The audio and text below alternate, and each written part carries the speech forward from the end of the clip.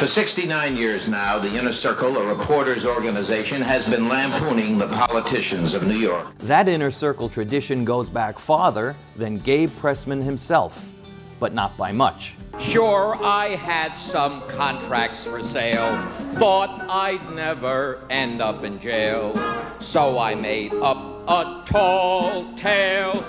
Got the cops on my trail. Gabriel Pressman was born in the Bronx on Valentine's Day, 1924. Rehearsals were likely going on at City Hall that day for the Inner Circle's second show, a roast of then Mayor John Hylan. You're an ordinary mayor who desires nothing more than just the ordinary chance to live exactly as you like. After serving in the Navy in World War II, Gabe became a reporter in Room 9 for the World Telegram and Sun newspaper. It's not clear if he did so in order to join the Inner Circle. Gabe became a member of the Inner Circle in 1951 and president in 1991. Imagine me, John Glenn, America's oldest space hero and sanitation chief.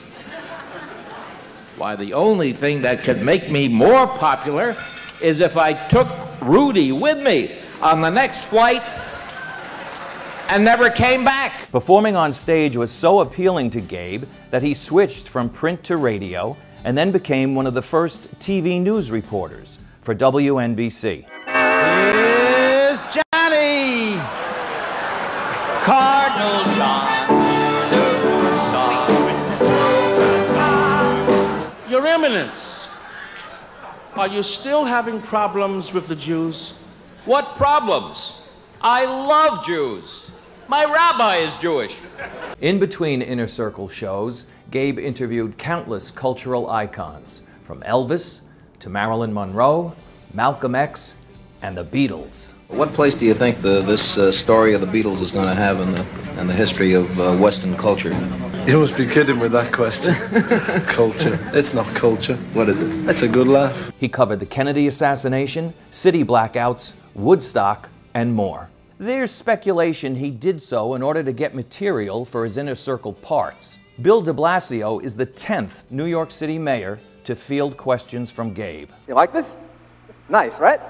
You like it, huh? I bet you thought I got this during Shop Till They Drop the Tax Week, right? you know where I found this? In Gabe Pressman's closet. Gabe Pressman turned 80 on Valentine's Day.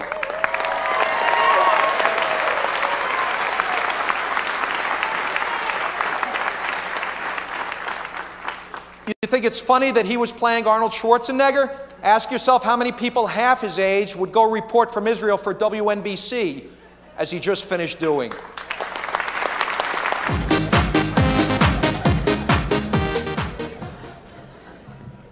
You may wonder how I stay so young. It's simple. I go to the same Pilates instructor as Gabe Pressman.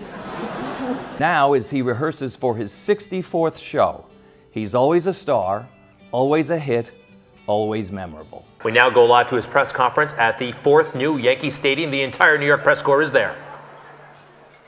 I'm looking for the entire New York press corps. That's me. I am the entire New York press corps.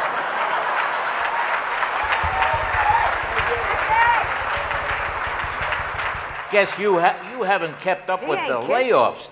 That's why they call me New York One.